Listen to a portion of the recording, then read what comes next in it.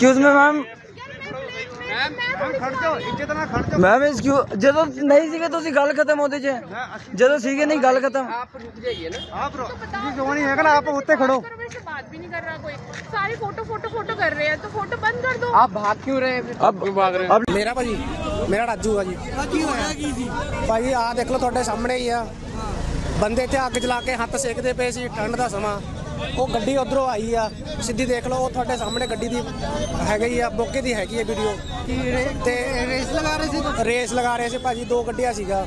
ਹੁਣ ਦੇਖ ਲਓ ਤੇ ਦੋ ਬੰਦੇ ਦੀ ਡੈਥ ਹੋਈ ਹੈ ਮੌਕੇ ਤੇ। ਇੱਕ ਦੀ ਮੌਕੇ ਤੇ ਡੈਥ ਹੋ ਗਈ ਇੱਕ ਦੀ ਹਸਪੀਟਲ ਲਿਆਂਦੇ ਸਾਰੀ ਡੈਥ ਹੋਈ ਕਿੰਨੇ ਬੰਦੇ ਜ਼ਖਮੀ ਹੋਏ ਰੇਸ ਲਾ ਰਹੀਆਂ ਦੋ ਗੱਡੀਆਂ ਸੀ ਭਾਜੀ।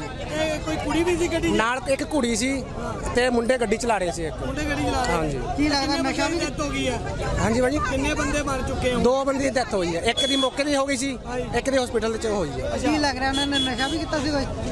ਭਾਜੀ ਇਹ ਤਾਂ ਹੁਣ ਪਤਾ ਡਰਾਈਵਰਾਂ ਨੇ ਭਾਜੀ। ਹਾਂ। ਨਸ਼ਾ ਹੀ ਕੀਤਾ ਹੋਣਾ ਭਾਜੀ। ਨਹੀਂ ਹੁਣ ਕਹਿਣ ਦਾ ਮਤਲਬ ਜਦੋਂ ਹਾਦਸਾ ਹੋਇਆ ਉਹ ਬੰਦੇ ਅੱਗ ਸੇਕ ਰਹੇ ਸੀ। ਹਾਂ ਅੱਗ ਜਲਾ ਕੇ ਹੱਥ ਸੇਕਦੇ ਪਏ ਸੀ। ਬੰਦੇ ਦੀ ਦੁਕਾਨ ਕਾਦੀ ਸੀ ਇੱਥੇ? ਕੋਕੇ ਦੀ ਸੀ ਭਾਜੀ ਉਹੀ ਨਮਕੀਨ ਵਗੈਰਾ ਚਾਹ ਮੱਠੀ ਵਗੈਰਾ ਇਹਦਾ ਹੀ ਸੀਗਾ। ਠੀਕ ਹੈ ਇਹ ਕਿਹੜਾ ਰੋਡ ਹੈ? ਇਹ ਫਿਰੋਜ਼ਪੁਰ ਤਰੀਕੇ ਰੋਡ ਹੈ ਭਾਜੀ ਸੁਆ ਰੋਡ। ਬਿਲਕੁਲ ਕੀ ਹੋਟਲ ਦੇ? ਬਿਲਕੁਲ ਸਾਹਮਣੇ। Back back side back side ਕੀ ਕਰਦੇ ਇਸ ਹੋਟਲ ਕੇ ਭਾਜੀ ਇਨਸਾਫ ਮਿਲਣਾ ਚਾਹੀਦਾ ਭਾਜੀ। ਤੇ ਉਹ ਜਿਹੜੇ ਕਾਰ ਚਾਲਕ ਸੀ ਉਹ ਕਿੱਥੇ ਗਏ? ਭਾਜੀ ਉਹ ਇੱਥੇ ਹੀ ਸੀਗੇ।